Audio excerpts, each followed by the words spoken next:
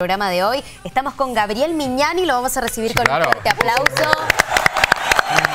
¿Cómo estás, Gabriel? Bienvenido. Gracias por la invitación. Lo presentamos. Él es músico, profe, pero además lidera un proyecto solidario muy bonito que están viendo ya ahí el nombre en pantalla, que se llama Dona Música, recibí una sonrisa. ¿De qué se trata? Bueno, el proyecto nació hace aproximadamente cuatro años. Yo doy talleres en la Municipalidad de Las Heras y me encontré con la problemática de que venían a tomar clases sin guitarra. Claro. Yo en el momento se las puedo prestar para la clase, pero de un estímulo al otro estímulo, si no tienen la guitarra, el instrumento, realmente es muy difícil. Yo tener muchos amigos músicos, empecé, che, esa guitarrita que tenés arriba del placar, ¿cómo está ahí? Está viejita, hay que ponerle, ¿me la das? Pum. Y empezamos con una guitarrita, dos guitarritas, tres guitarritas, el clavijerito este, qué sé yo, de dos o tres guitarras hacer una, porque por ahí le sacamos claro, los clavijeros, la caja está bien y entonces, bueno, eh, siempre tratando de, solventar esa, necesidad en los chicos que por ahí eh, hay muchas otras prioridades y siempre por ahí el arte, decir, no, mira, la guitarrita no podemos en este momento. Totalmente. Entonces, bueno, era una forma de que esos chicos pudieran seguir y bueno, Está buenísimo lo que se está, está bueno. ¿Mayormente niños los que van a tus talleres o también gente grande? No, no, va, va, gente grande, va, va, gente grande. Tengo grupos para niños, ¿sí? Y también tengo grupos para mayores. Este, así que la verdad que muy contento, muy contento porque es lo que se está haciendo. ¿Cómo ha sido la repercusión? ¿Has recolectado muchos instrumentos ya? ¿Cómo va la movida? Sí, realmente no los tengo como números, ¿sí? Todavía no, no, me interesa tenerlos como números, ¿sí? Porque, por ejemplo, he hecho algunas donaciones, la gran mayoría son individuales, una guitarrita para, una guitarrita para. Pero por ahí me encuentro con que recibo bongo, palitos chinos, eh, cajita china, eh, de todo. Entonces por ahí me, me dijeron, mira, hay una escuelita en la Valle que tienen un profe de música, pero no tienen instrumentos. ¡Pum! Claro. Para allá con una, con, no sé, habrán ido 30 instrumentos de percusión. qué, bueno eso. Entre, caja, entre cajones peruanos, una guitarrita creo que también fue para aquellos lados. Em, un día hago una nota y un... Me dice, mira, yo tengo un violín, me dice. lo, que estábamos viendo ahí en imágenes. Estaba la foto con, el violín, es, impecable en esa caja.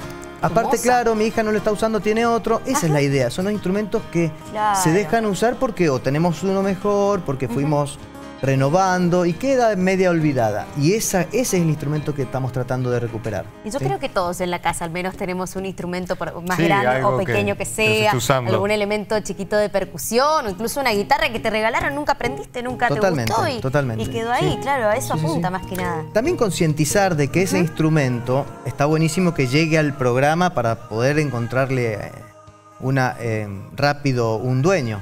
Pero por ahí ofrecérselo al primito, al che, tengo una guitarra en mi casa que no la uso. Esa es una buena forma de que... Claro, hacer que circule, claro, claro porque uno por ahí dice, ¿qué, te gustaría? Y me gustaría tocar la guitarra. Yo tengo una en mi casa. Claro, no la uso. Pero me ha pasado infinidad de veces de que vamos a comer un asado a cualquier lugar y hay una guitarra.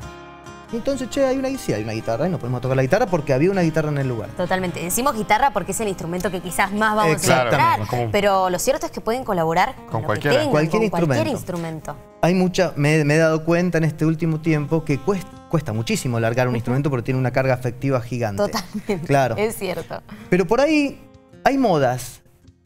Hubo un momento donde los tecladitos, habían un montón de teclados donde ibas. Esos teclados ¿sí? estoy seguro que el que siguió su carrera musical tiene un teclado muchísimo mejor, fue el primer tecladito, el ukelele, ¿cuántos ukeleles se vendieron hace cinco años? Y quedó, una moda quizás medio efímera. bueno, está buenísimo que sigan. está buenísimo que sigan. Pero por ahí muchos de esos ukeleles que fueron un poquito moda, hay otro chico que realmente muere por tener ese instrumento. Aparte debe ser muy gratificante cuando vos das clases y que los chicos recién y sabes que lo usan. Totalmente. Es útil a ellos. Sí, y, también eh, confiar en que lo van a usar aunque no vayan a los talleres. Me ha tocado en, pandemia, o sea, el año pasado no, no estaba en contacto. Y ese tiempito, yo en un momento en mi casa dije, tengo siete guitarras arregladas en mi casa. Entonces ahí nomás me di cuenta que aunque no conociera a los chicos, los publiqué para el Día del Niño, porque el Día del Niño el año pasado fue terrible. Entonces, siete familias se comunicaron conmigo y fueron siete guitarras a gente que no conozco. Qué bueno.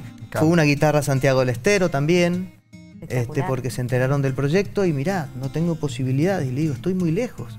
Pero la única diferencia entre entregar un instrumento acá, en Godoy Cruz o en Santiago del Estero, es el envío. Totalmente. Es lo único. Me dice, mira, realmente no podemos. Bueno, hubo una donación de una guitarrita que está bastante bien, le, arreglé lo que le tenía que arreglar. Creo que vendí unas púas para, para juntar la plata para el envío, para que también la gente se haga un poquitito, el que no tenga un instrumento, decir, bueno, ¿cómo te puedo ayudar? Mira, hay veces que vendo púas, hay veces que sorteo una, una remera, hay veces que las guitarras que ya no tienen solución se las doy a artistas plásticos para que las pinten y dejan unas obras de arte hermosas. Esas se venden, con esa platita la mitad es para el artista o el artista que la pintó porque está bueno reconocerle el laburo. Y la otra compra un clavijerito, compra unas cuerdas. vos no solo te tomás el trabajo de hacer toda la logística y la gestión de este proyecto, sino que también sos el que restaura los instrumentos. Gran es una tarea muy difícil esa. Sí, sí. Ojo, no soy ¿Trabajás, luthier. Eso te iba a preguntar. ¿Trabajás de la mano con algún luthier que te Mira, asista? a mí me da una mano Flavio Patiño, que es que es un genio el Flavio, le mando un beso. Sí, sí. La verdad que cada vez que tengo una duda le digo, mira, ¿qué, qué hago con esto? Porque realmente yo me, doy maña. Si vos me decís, Gaby, ¿qué haces? Me doy maña. Entonces hay veces que la maña no llega, no alcanza. Entonces le digo, ¿qué hago con esto? Y me dice, mirá, o no sirve más, o mirá, yo me ha arreglado instrumentos de onda porque realmente hay que... Él sí sabe. Y aporta desde su lugar la solidaridad Exactamente, cada vez que por ahí le sobra un instrumento, pero mucho, la, solidaridad, la solidaridad de los músicos en general. Porque me han caído a mi casa con, con tones de batería, me han, caído con, un montón de instrumentos que después se, ubican rápido porque hay mucha necesidad. Pero eh, los músicos es de donde viene más la ayuda. La Muni de las Heras me da una mano por ahí con decir, mira, tengo que comprar unos clavijeros, unas cuerdas, qué sé yo, pipí. Bien, hacemos una movida, me ayudan, voy, compro. Porque hay veces que vender púas, sortear remeras, hacer todo eso es un laburo extra que yo realmente hay veces te que demanda mucho tiempo. No claro, digo, hago un sorteo, bueno, buenísimo, pero después tengo que vender los 100 números y después tengo que ir a cobrar los 100 números. Entonces hay veces que o sea, que se necesita de, del apoyo, pero imagino que después de tanto esfuerzo debe ser sumamente gratificante el momento en que vos entregás esa guitarra, ese ukelele, charango. ¿Cómo es la reacción de los chicos o de, las personas en ese momento? hay veces que no lo pueden creer. Dicen, hay veces que esto, esto no lo puedo creer, porque les es, muy es muy difícil entenderlo, este, pero qué sé yo, es, hermosa la satisfacción que se siente. Aparte que es un instrumento musical, no es donar, está bien, está, buenísimo donar todo lo que uno, uno tiene, un paquete de arroz, un, colchón, pero en el momento de donar un instrumento musical viene algo más. ¿sí? Vos le estás abriendo las puertas a un, no solo a un pibe, a una familia, porque por ahí le llega el nene de 8 años con la guitarrita nueva y el padre que no se llega cansado de laburar, se sienta la noche con él a aprender también algo de guitarra. Claro, se genera otra cosa. Es, un vínculo que, que realmente estos cuatro años a mí me ha traído una satisfacción enorme, Más allá de si se quieran dedicar a la música o no, también la música es una gran herramienta para desconectar, ¿no? Para, para eh, tener un hobby, por decirlo, y, los chicos Sí, aparte el arte te nutres de muchas aristas, incentiva, como vos decías, a la familia. Incentivar la creatividad de los chicos. Sí. Em, yo por ahí los veo mucho con mis alumnos, que veo sus caritas, cómo piensan, porque están estudiando un idioma nuevo, que lo están llevando a su cabecita, lo están traduciendo y están mandando la información exacta donde tiene que ir y los ves pensar y decís, está buenísimo todo el proceso que se está formando. Fuera de lo que es em, la parte eh, del, arte, también hay un, proceso cognitivo importante. Que vos decís, che, mirá qué bueno. Una estimulación constante de los que, no es solo el estímulo de por ahí leer un libro o, o, no, che, sentarte y descifrar algo, encontrar algo, o seguir un ritmo. Con solo el hecho de seguir un ritmo estás, che, mirá lo que estoy logrando.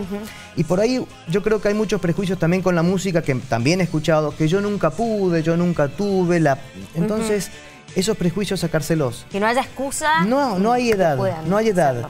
A los 60 años vas a agarrar una guitarra y tenés 25, 30 años más para tocar. Seguro. ¿Sí? Entonces, aprovecharlo. Si tenés 8 años, tenés toda una vida, si tenés 30 años, dale el tiempo que vos quieras, pero ¿vas a ser un gran guitarrista o no? pero que te va a llenar el corazón de alegría, seguro. Claro. ¿Hay algún caso en particular que, recuerdes y que te haya llegado alguna de las tantas historias con las que te cruzaste, alguna familia, algún niño, que, digas, esto me marcó? Muchas necesidades. Cuando por ahí me encuentro y te dicen, mira, somos 11 viviendo en mi casa. Somos 11 y, ahora últimamente que me quedé sin laburo, porque mi esposo laburaba en esto, se quedó sin laburo. Eh, de esos infinidades. O sea, de eso hay mucha necesidad. Porque yo realmente no voy a entregar una guitarra a alguien que vea que, lo que, no lo necesita o que puede acceder de cierta forma. Hay gente que realmente no tiene la posibilidad. Hicimos donaciones al, Penal San Felipe, al, al Hospital Carlos Pereira. Ahí también fueron un montón de instrumentos de percusión, porque ellos laburan mucho lo que es la parte de percusión para, la, para sus terapias.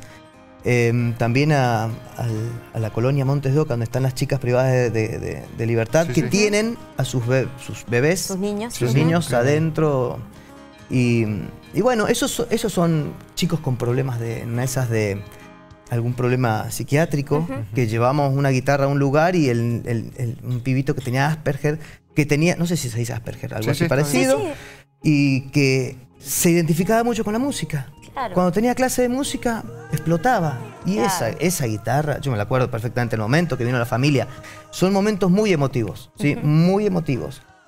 Más lo que estamos pasando por pandemia, que por ahí son no lo puedo sacar de la computadora, te dicen. Claro, y la música es una vía de escape, ¿no? Sí, cuando es eso, es también genial.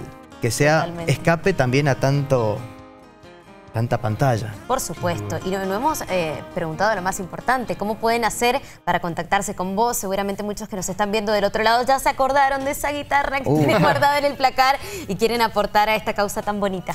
A mi Facebook, Gabriel Mignani. Mira, ahí está escrito en el graph, lo buscan así, Gabriel, Mignani. Eh, o si no, mi teléfono celular 2616 65 70 96. Listo. Yo me encargo de ir a buscarlo yo me encargo de encontrarle la solución. Hay veces que no tienen solución, lamentablemente hay veces que no tienen solución, pero cuando hay una solución y se puede entregar ese instrumento, también lo que me gusta que haya es ese vínculo entre el que lo donó y el que lo recibe. Entonces, el que lo dona pasa a ser padrino musical de, ese, de esa persona. qué lindo el vínculo. Y con un mensaje, decir, mira, yo recibí la guitarra que vos donaste, muchísimas gracias, ya se produjo el vínculo. Claro. ¿Podemos volver a repetir el celu, Gaby? Así lo ponen también en pantalla. 2616-657096. Listo. Ahí lo está anotando la producción. También lo van a colocar en el graph para que todos los interesados puedan comunicarse con Gabriel Miñani. Mira, ahí tenés el contacto. Si te resulta más sencillo escribirle por Facebook, también Gabriel va a estar pendiente a todos esos mensajitos. Bueno, nada más que agradecerte, Muchas Gracias.